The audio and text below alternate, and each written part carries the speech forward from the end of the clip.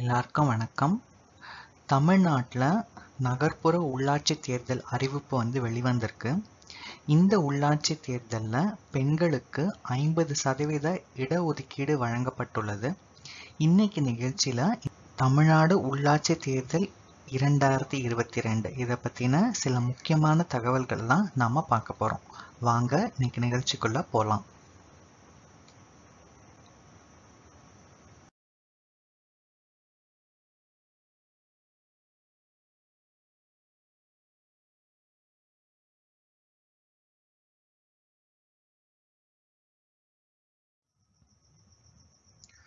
தமிழ்நாட்டில் நகர்ப்புற உள்ளாட்சி தேர்தல் ஒரே கட்டமாக நடைபெறவிருக்கு.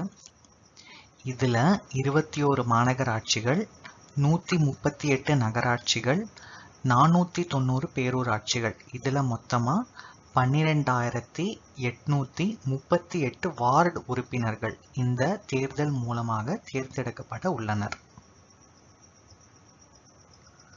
உள்ளாட்சி அமைப்புகளில் பெண்களுக்கு ஐம்பது சதவீத இடஒதுக்கீடு வந்து வழங்கப்பட்டுள்ளது. அதன்படி பார்த்தீங்கன்னா இருபத்தி ஒரு மாநகராட்சிகளில் பதினோரு மாநகராட்சிகள் பெண்களுக்கு ஒதுக்கப்பட்டுள்ளன.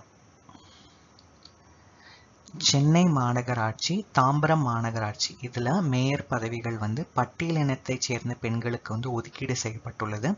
ஆவடி மாநகராட்சி மேயர் பதவி வந்து பட்டியலின வேட்பாளருக்கு ஒதுக்கீடு செய்யப்பட்டுள்ளது. கடலூர் திண்டுக்கல் வேலூர் கரூர் சிவகாசி காஞ்சிபுரம் மதுரை கோயம்புத்தூர் ஈரோடு. இந்த ஒன்பது மாநகராட்சிகளில் பார்த்தீங்கன்னா பொதுப்பிரிவு பெண்களுக்கு ஒதுக்கீடு செய்யப்பட்டுள்ளது.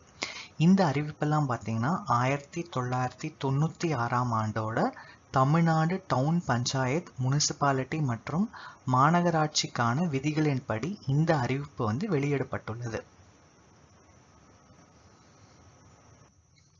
தமிழக வரலாற்றில் முதல் முறையாக பெண் ஒருவர் சென்னையின் மேயராக வரக்கூடிய வாய்ப்பு வந்து ஏற்பட்டிருக்கு. அது மட்டும் இல்லாமல் சென்னையில் இருக்கிற இருநூறு வார்டில் நூறு வார்டுகள் வந்து பெண்களுக்கு வந்து ஒதுக்கீடு செய்யப்பட்டுள்ளது. ஆயிரத்தி தொள்ளாயிரத்தி தொண்ணூறுகளில் பார்த்தீங்கன்னா பஞ்சாயத் ராஜ் சட்டம் வந்து அமல்படுத்தப்பட்டது. அதைத் தொடர்ந்து பார்த்தீங்கன்னா இரண்டாயிரத்தி ஆறாம் ஆண்டு விடுதலை சிறுத்தை கட்சி சார்பாக சென்னை உயர்நீதிமன்றத்தில் ஒரு வழக்கு வந்து தொடரப்பட்டது. அந்த வழக்கில் வந்து சென்னை நகர மேயர் பதவியை பட்டியல் இனத்தவருக்கு ஒதுக்க வேண்டும் அப்படின்ற கோரிக்கை விடுக்கப்பட்டது. அதுக்கப்புறம் துணை தலைவர் பதவிகளிலும் இடஒதுக்கீடு வழங்க வேண்டும். இந்த இரு கோரிக்கைகளை வலியுறுத்தி விடுதலை சிறுத்தைகள் கட்சி வந்து சென்னை உயர்நீதிமன்றத்தில் வந்து வழக்கு வந்து தொடர்ந்தது. இந்த வழக்கோட தீர்ப்பு பார்த்தீங்கன்னா இரண்டாயிரத்தி பதினாறில் இந்த வழக்கோட தீர்ப்பு வந்து வெளிவந்தது. இந்த கோரிக்கை தொடர்பாக அரசு பரிசீலிக்க வேண்டும் அப்படின்ற உத்தரவை வழங்கி இந்த வழக்கு வந்து முடிவுக்கு கொண்டு வரப்பட்டது. உள்ளாட்சி அமைப்புகளில் ஐம்பது சதவீத இடஒதுக்கீடு அளித்தவர் முன்னாள் முதல்வர் செல்வி ஜெ. ஜெயலலிதா அவர்கள். இரண்டாயிரத்தி பதினாறாம் ஆண்டு பதினான்காவது சட்டசபையின் பதினோராவது கூட்டத்தொடர். அந்த கூட்டத்தொடரோட இறுதி நாளில் தான் இந்த சட்டம் வந்து நிறைவேற்றப்பட்டது. அந்த மசோதாவில் வந்து உள்ளாட்சி அமைப்புகளில் பெண்களுக்கு இருந்த முப்பத்தி மூன்று சதவீத இடஒதுக்கீட்டை ஐம்பது சதவீதமாக உயர்த்த அந்த சட்டத்தில் வழிவகை வந்து செய்யப்பட்டது. அந்த சட்டத்திற்கேற்ப அனைத்து மாநகராட்சிகளின் சட்டங்கள் மற்றும் ஆயிரத்தி தொள்ளாயிரத்தி தொண்ணூற்றி நான்காம் ஆண்டு ஊராட்சிகள் சட்டத்தையும் திருத்த இந்த சட்டத்தில் வழிவகை செய்யப்பட்டிருந்தது. இந்த உள்ளாட்சி தேர்தல் தொடர்பான சில முக்கிய தகவல்களை இப்போ நம்ம பார்க்கலாம்.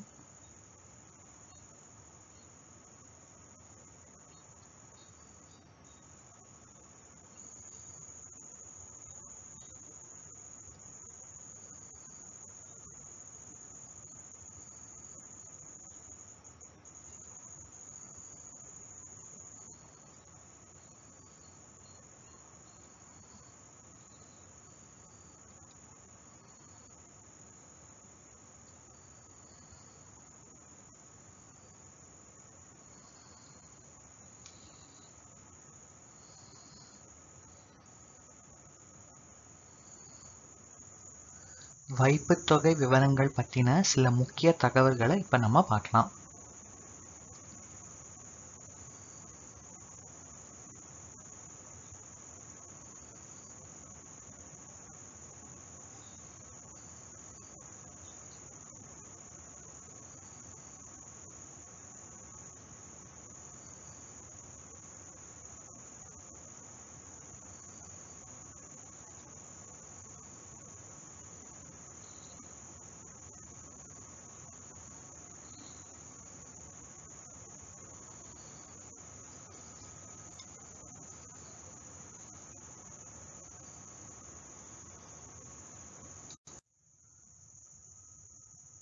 இரண்டாயிரத்தி பதினாறாம் ஆண்டு அந்த ஆண்டு நடைபெறவிருந்த உள்ளாட்சி தேர்தல் தான் பல காரணங்களால் பல ஆண்டுகள் இடைவெளி விட்டு ஆறு வருஷம் கழிச்சு இப்போ வந்து இந்த உள்ளாட்சி தேர்தல் வந்து நடக்குது. இந்த மாதிரியான இடைவெளிகள் இல்லாமல் உள்ளாட்சி தேர்தல்கள் தொடர்ந்து நடைபெறுவதை அரசு வந்து உறுதிப்படுத்த வேண்டும். ஜன ஜனநாயகத்தோட அடிப்படையாக இருக்கிற இந்த உள்ளாட்சி தேர்தலை எந்தவித இடைவெளியும் இல்லாமல் தொடர்ந்து நடத்துவதன் மூலமாகத்தான் அடிப்படை மக்களோட பிரச்சனையை வந்து நிச்சயமாக வந்து தீர்க்க முடியும். உள்ளாட்சி அமைப்புகளில் ஐம்பது சதவீத இடஒதுக்கீடு பெண்களுக்கு வழங்கப்பட்டிருக்கு அப்படின்ற ஒரு அறிவிப்பு வந்து வெளிவந்திருக்கு. ஆனால் உள்ளாட்சி அமைப்புகளில் இருக்கிற அத்தனை பதவிகளுக்கும் ஐம்பது சதவீத இடஒதுக்கீடு பெண்களுக்கு வழங்கப்பட்டுள்ளதா அப்படின்றது மிகப்பெரிய கேள்விக்குறியாகவே தான் இருக்குது தமிழ்நாட்டில் உள்ளாட்சி அமைப்புகளில் பெண்களுக்கு ஐம்பது சதவீத இடங்கள் ஒதுக்கீடு செய்யப்பட்ட பிறகு நடக்கிற முதல் நகர்ப்புற உள்ளாட்சி தேர்தல் வந்து இது. இந்த ஐம்பது சதவீத இடஒதுக்கீடு மூலம் சமூகத்தில் மாற்றம் ஏற்பட்டு அடிப்படை மக்களோட வாழ்வு மேம்பட இது ஒரு தொடக்க புள்ளியாக இருக்க வேண்டும்.